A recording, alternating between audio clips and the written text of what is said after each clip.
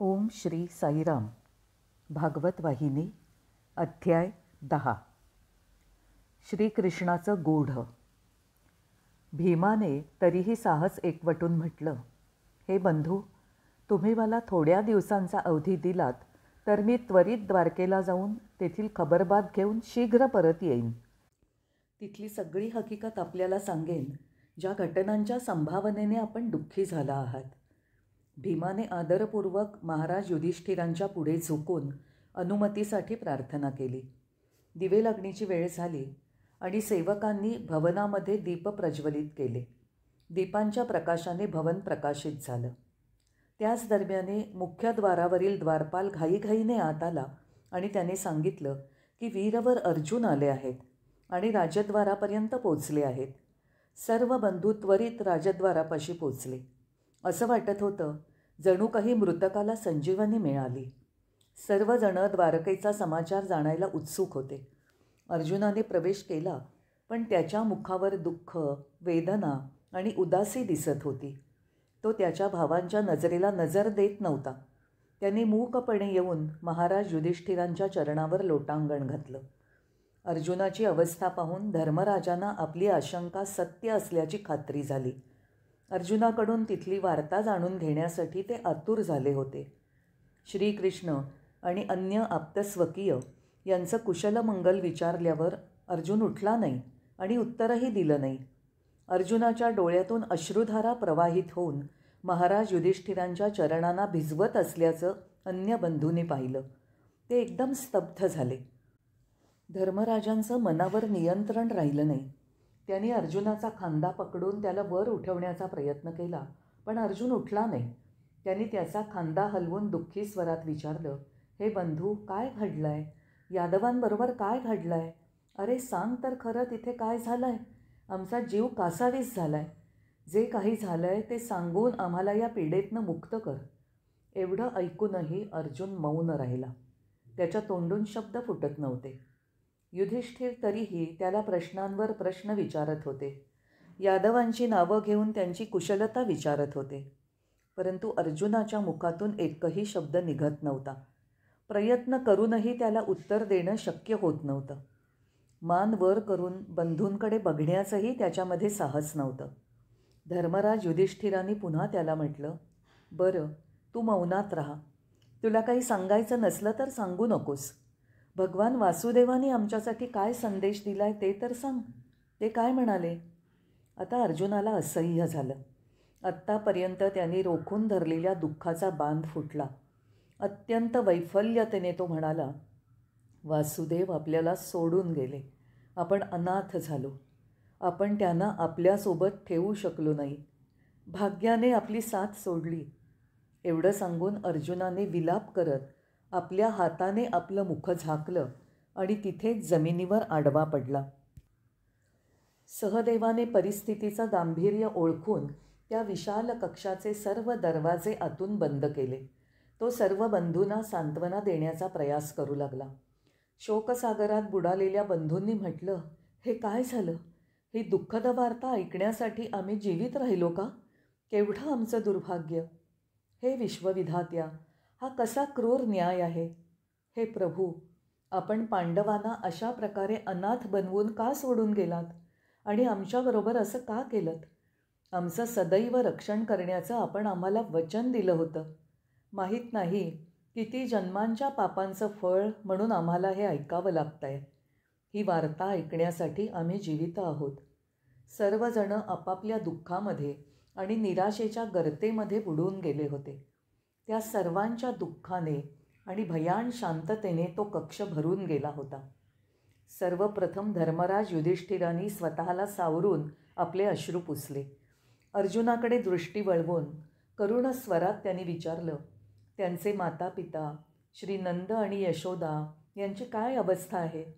प्रभू सोडून गेल्याने त्यांचं हृदय विदीर्ण झालं असेल. प्रभूंच्या विरहाने जर आपलीच अशी अवस्था आहे तर त्यांची काय अवस्था झाली असेल? ते तर शोकसागरात बुडून गेले असतील. त्यांच्या शरीराने प्राण कसे धारण करून ठेवले असतील? व्यक्तिगत दुःखाविषयी काय बोलायचं? समस्त द्वारका नगरी शोकसागरात बुडून गेली असेल. धर्मराज युधिष्ठिरही त्या स्थितीची कल्पना करून शोकसागरात बुडाले होते. त्यांची ती भयंकर अवस्था पाहून अर्जुन म्हणाला महाराज द्वारका निवासी आपल्याहून अधिक सौभाग्यशाली आहेत. आपण मात्र अत्यंत दुर्भाग्यशाली आहोत. आपलं हृदय पाषाणाचं आहे. भगवान वासुदेवांच्या इहलोक गमनाची वार्ता ऐकूनही आपण जीवित आहोत. त्या लोकांनी भगवानांच्या प्रयाणापूर्वीच आपले देह त्यागले. अर्जुनाचं हे बोलणं ऐकून धर्मराज आश्चर्यचकित होऊन म्हणाले हरी हरी अर्जुना तू हे काय सांगतोयस? हा काय अनर्थ घडला? मला तर काही समजत नाही. समुद्राने उफाळून द्वारकेला बुडवून टाकलं. तर कोणी दानव किंवा दैत्य आला ज्याने आपल्या सेनेसह आक्रमण करून द्वारकावासियांचं हनन केलं?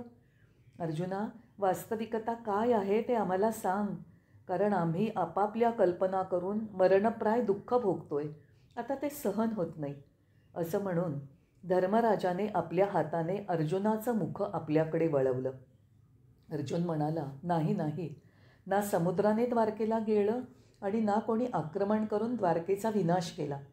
नाशाचं कारण तर यादवांनी स्वतःच निर्माण केलं होतं. त्यांच्यामध्ये एकमेकांविषयी इतकी तीव्र घृणा उत्पन्न झाली होती की त्यांनीच एकमेकांची निर्दयपणे हत्या केली. यावर युधिष्ठिर म्हणाले अर्जुना जे तू म्हणतोयस तसं झालं असेल तर निश्चितच कोणत्या तरी अदृश्य दैवी शक्तीने यादव कुळाचा असा विनाश घडवून आणायला भाग पाडलं असेल. कारणाशिवाय परिणाम घडू शकत नाही नाही का? असं म्हणून युधिष्ठिर अर्जुनाकडून त्या विनाशाची हकीकत ऐकण्यासाठी प्रतीक्षा करू लागले. अर्जुनाने थोडा वेळ शांत राहून आपलं दुःख नियंत्रित करण्याचा प्रयत्न केला. तो काय सांगतोय ते ऐकण्यासाठी तिन्ही बंधू अर्जुनाच्या जवळ आले. अर्जुन म्हणाला मी तर असं ऐकलं की त्या दिवशी या संहाराला कारणीभूत होईल अशी कोणतीही लहानात लहान घटनासुद्धा घडली नाही. याला केवळ वासुदेवाची इच्छा असंच म्हणता येईल. आता माझा या गोष्टीवर पूर्ण विश्वास बसला आहे. ते सूत्रधार आहेत आणि सूत्र हातात ठेवून ते आपल्याला कळसूत्री बाहुल्यांप्रमाणे नाचवतात. स्वतः दूर बसून एखाद्या प्रेक्षकाप्रमाणे नाटक पाहतात आणि असं दर्शवतात की त्यांना कथा पात्रांचा अभिनय वा त्याच्याशी संबंधित अन्य गोष्टी ज्ञात नाहीत. प्रत्येक पात्राला त्यांच्या दिग्दर्शनानुसार आपली भूमिका करावी लागते. प्रत्येक घटनेचं आणि कृतीचं दिग्दर्शन आणि निर्धारण तेच करतात. कोणीही त्यांच्या संकल्पाच्या अतिरिक्त काही करायला असमर्थ असतो. जगाच्या रंगभूमीवर घडणारं हे नाट्य बघणाऱ्यांना वास्तविक वाटतं आणि ते त्यांना प्रभावित करतं. अभिनय करणारेही पाहता पाहता त्या नाट्यामध्ये एवढे हरवून जातात की त्यांना सूत्रधाराचं विस्मरण होतं. त्यांच्या मनात स्वतःला सर्व काही समजण्याचा भ्रम निर्माण होतो. सूत्रधारावर मात्र याचा कोणताही प्रभाव पडत नाही. या मनुष्याला काय करायचं आहे कुणाला काय उत्तर द्यायचं आहे कोणत्या शब्दांचा प्रयोग करायचा आहे? या सर्व गोष्टींचा तेच निर्णय करतात. ते सर्वांच्या अंतरंगात प्रेरक शक्तीच्या रूपाने दडून बसलेले आहेत. सर्वांना नाचवणारे तेच आहेत. तरीही पूर्वजन्मातील कर्मफळाचं या भाग्य निर्माणामध्ये अंशदान असतं. सूत्रधाराला विसरून आपण स्वतःलाच करता म्हणतो. यादवगण आपले बंधुबांधव होते. त्यांच्या मनात प्रभूंविषयी भक्तिभाव होता याविषयी काही शंकाच नाही. आपण सर्वजण हे जाणताच.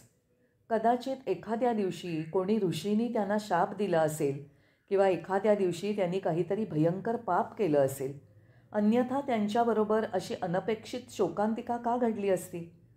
त्यांनी प्रभास क्षेत्रामध्ये निरंतर सात दिवस चालणाऱ्या एका महान यज्ञाचं आयोजन केलं होतं. संपूर्ण सात दिवस तो यज्ञ अत्यंत उत्तम प्रकारे केला गेला. त्या महान यज्ञामध्ये भगवान श्रीकृष्णांच्या उपस्थितीत आहुती दिल्या गेल्या. यज्ञामध्ये भाग घेणारे पंडित पुरोहित आणि यज्ञकर्त्यांनी त्या पवित्र जलाने विधिवत स्नानही केलं. त्यानंतर त्या यज्ञामध्ये अर्पण केलेल्या प्रसादाचा वाटाही ब्राह्मणांनी घेतला आणि उरलेला प्रसाद यादवांमध्ये वितरित केला. हे सर्व आयोजन अत्यंत शांत सुंदर आणि संतोषजनक वातावरणामध्ये संपन्न झालं. मध्यान्ह काळात ब्राह्मणांना भोजन देण्यात आलं आणि त्यानंतर यादवगण मोठी पंगत करून प्रीतीभोजनाला बसले. याला दुर्भाग्याशिवाय काय म्हणावं? त्यांच्यामधले काही यादव इतके अतिरिक्त मदिरापान करून आले होते की ते वेडे पिसे होऊन त्यांना त्यांचे सगळे सोयरे शत्रू दिसू लागले. त्या नशेच्या धुंदीत त्यांनी आपापसात झगडायला सुरुवात केली. पाहता पाहता हे झगडे एवढे वाढत गेले की त्याचं युद्धात परिवर्तन झालं.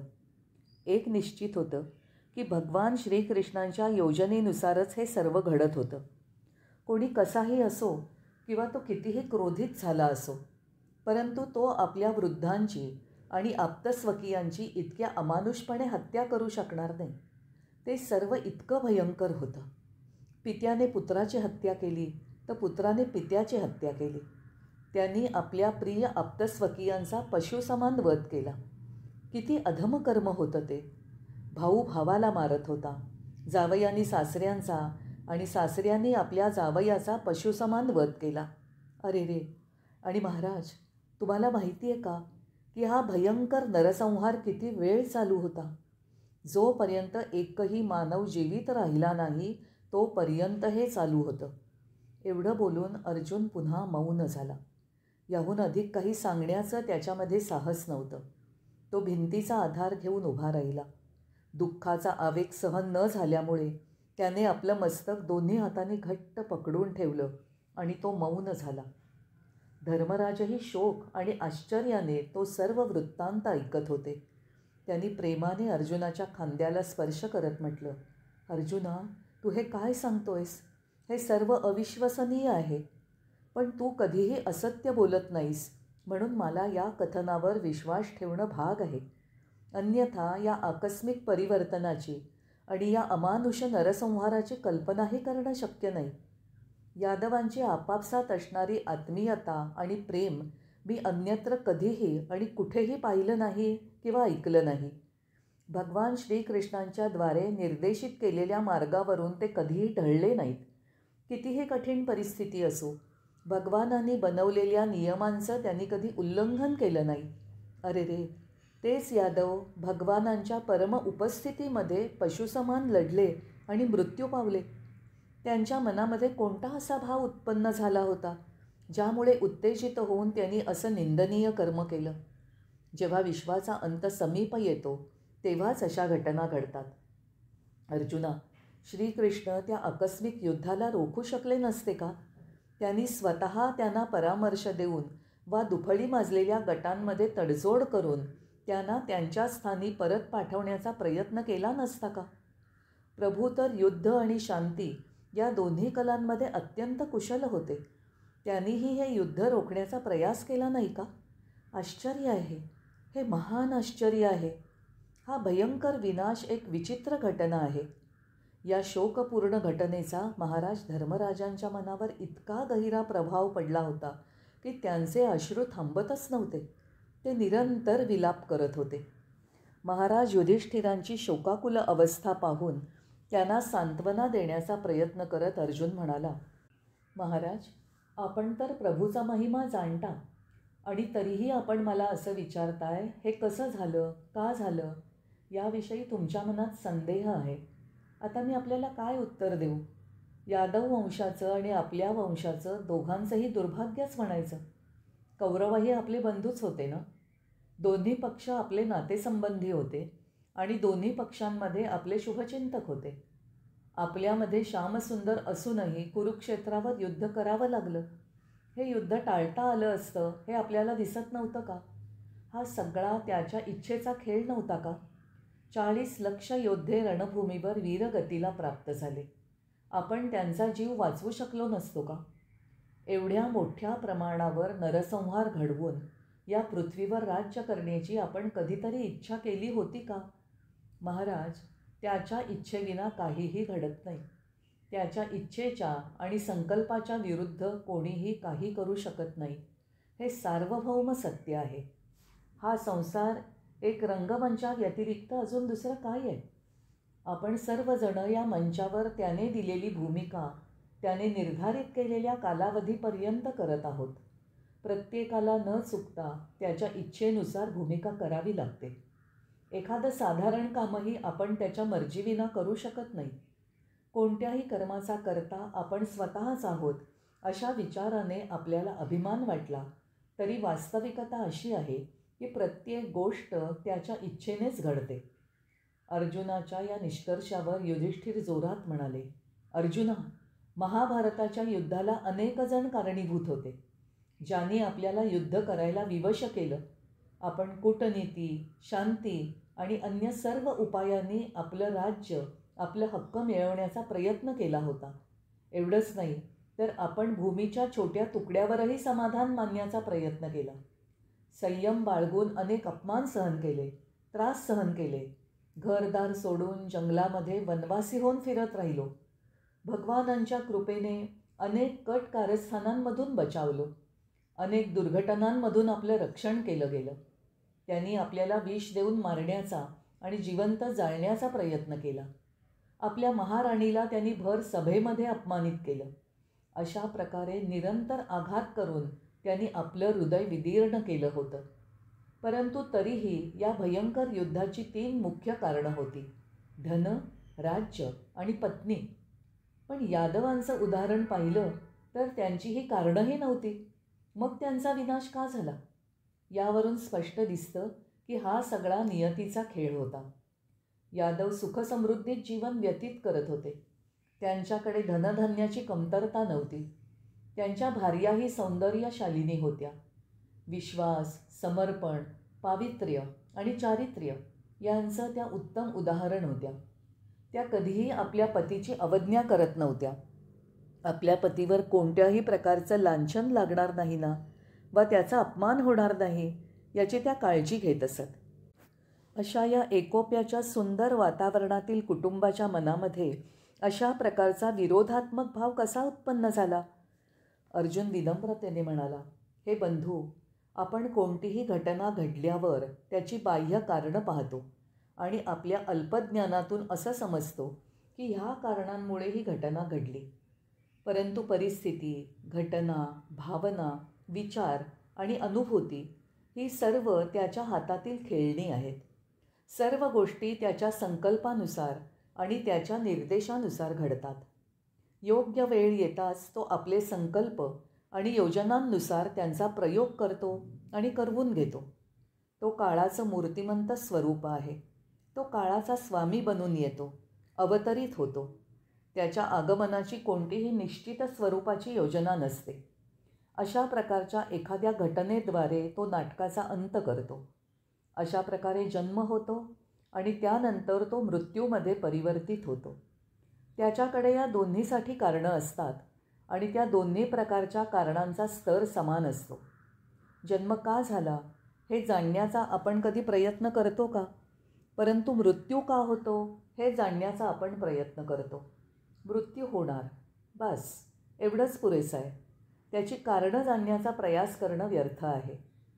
तो प्राण्यांच्याद्वारे प्राण्यांची सृष्टी निर्माण करतो आणि त्यांच्याद्वारे त्यांचा विनाशही करतो. शरीराची उत्पत्ती होते आणि नंतर त्याचा विनाशही. यापेक्षा अधिक काही नाही. मग जीवन आणि मृत्यूविषयी गांभीर्य कशासाठी बाळगावं? वासुदेवाने नेहमीच आपल्याला हे सांगितलं होतं. तरीही अशा स्थितीमध्ये आपण आशंकित का व्हावं?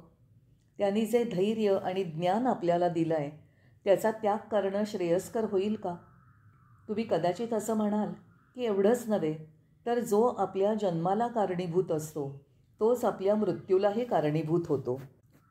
जन्म आणि मृत्यूच्या दरम्यानच्या काळात मनुष्याकडेही पुण्य आणि पाप अर्जित करण्याची क्षमता असते आणि त्याचा काही अंशी घटनाक्रमावर प्रभाव पडतो. या कालमर्यादेत परमेश्वर जन्म मृत्यू आणि जीवनाबरोबर चेंडूफळीचा खेळ खेळतो. जन्म आणि मृत्यू हे दोन उंच कडे आहेत आणि त्यांच्यामधून जीवनरूपी नदी वाहते. आत्मशक्ती हा त्या दरीवर पसरलेला सेतू आहे. ज्यांनी या आत्मशक्तीला आणि विश्वासाला विकसित केलं आहे त्यांना नदीला येणाऱ्या पुराचं भय नसतं. आत्मशक्ती असणारे त्या पुलावरून सर्व अडथळे धोके आणि कष्टांची पर्वा न करता नदीच्या दुसऱ्या किनाऱ्यावर पोचू शकतात. महाराज हे सर्व काही त्या निर्देशकाचा साधारण कटपुतलीचा खेळ आहे. कालच्या कौरवांसारखे आजच्या यादवांचेही काही विशेष महत्त्व नाही. त्यांचंही स्वतःचं कोणतंही विशिष्ट स्थान नव्हतं. कुणालाही दोष देणं व्यर्थ आहे. पृथ्वी आप तेज वायू आणि आकाश या पंचतत्वांनी बनलेलं हे शरीर त्याच्या इशाऱ्यांशिवाय चालू शकतं का? बोलू शकतं का? हे केवळ त्याच्या मनोरंजनासाठी आहे. एकापासून दुसऱ्याची उत्पत्ती करणं आणि एकाला दुसऱ्याच्या मृत्यूला कारणीभूत बनवणं. नाहीतर तुम्ही या वास्तविकतेचं कसं स्पष्टीकरण देणार? एक सर्प जो अंडी घालतो मोठ्या कष्टाने ती उबवतो आणि त्यातून पिल्लं बाहेर आल्यावर त्यांच्यामधील ज्यांच्या जीवनाचा कालावधी संपला आहे त्या पिल्लांना तो स्वतःच खाऊन टाकतो. जलात राहणारे मासे ज्यांचा अंतिम समय आला असेल ज्यांच्या जीवनाची मुदत संपली असेल तेव्हा ते कोळ्याच्या जाळ्यात अडकतात. छोट्या माशाचा अंतिम समय आल्यावर त्याला मोठा मासा खाऊन टाकतो. हे सगळं काय आहे? हा त्याचा नियम आहे. साप बेडकाला खातो मोर सापाला खातो आणि अशा प्रकारे त्याचा खेळ चालू राहतो. याचं कारण कोण सांगू शकतं? प्रत्येक लहान मोठी घटना त्याच्या संकेतानुसार घडत असते. आपल्याला त्यांच्या खेळाचं मर्म समजू शकत नाही. आपण ते समजण्यात असफल झालो आहोत.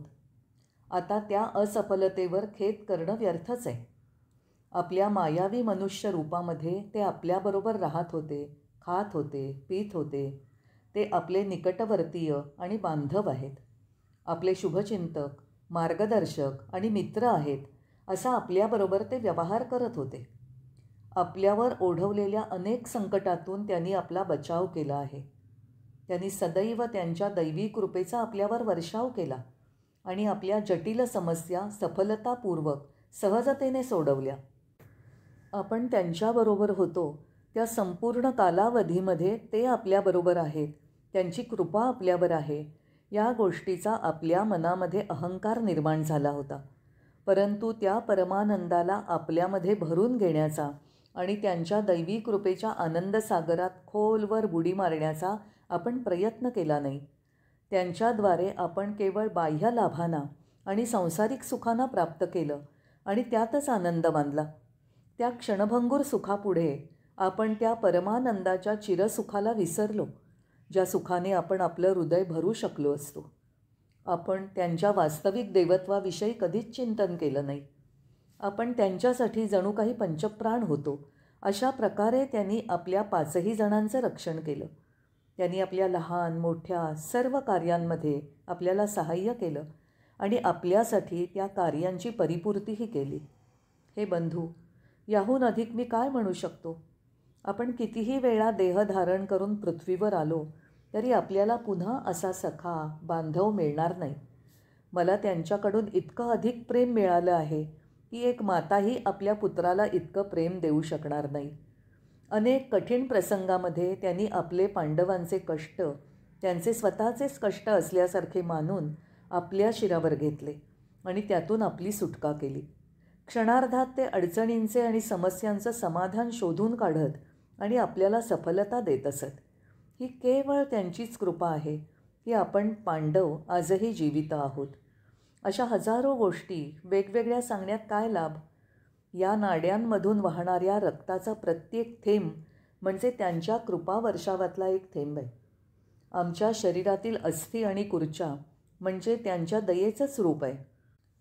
त्यांची ही कृपा न समजल्यामुळे आम्ही हे प्राप्त केलं आम्ही हे जिंकलं आम्ही अमुक केलं आम्ही तमुक केलं असं आपण सदैव गर्वाने म्हणत होतो. वासुदेवाविना आपण मांसाच्या गोळ्यासारखे आहोत हे आता स्पष्ट झालं आहे. तसं पाहिलं तर समस्त मानवजातीचं भाग्य एकसारखंच आहे. ते हे विसरून जातात की तो सर्वज्ञ सर्वव्यापी आणि सर्व शक्तिमान त्यांना कठपुतलीसारखा नाचवतो. ते असं मानतात की आपण स्वतःच करता आणि भोगता आहोत. माझ्यासारखं तेही या मोहजालात अडकून पडतात. आपण जे कधी अग्रणी वीर म्हणून संबोधलो जात होतो. आज आपली ही दशा आहे तर सामान्य जनांविषयी काय बोलावं? ज्यांना या ज्ञानप्राप्तीची सुसंधीही मिळत नाही. माझ्याबरोबर मार्गामध्ये जी दुःखद घटना घडली आहे ती हे सत्य प्रमाणित करायला पर्याप्त आहे असं म्हणता म्हणता अर्जुन त्याच्यामागे ठेवलेल्या आसनावर कोसळला. त्याच्यामध्ये आता बसण्याचीही ताकद राहिली नव्हती. जीवनातील बराच काल आपल्याबरोबर राहिलेला आपला जीवलक सखा स्वामी मार्गदर्शक श्रीकृष्ण याच्या विरहाने तो गलितगात्र झाला होता. जय साईराम.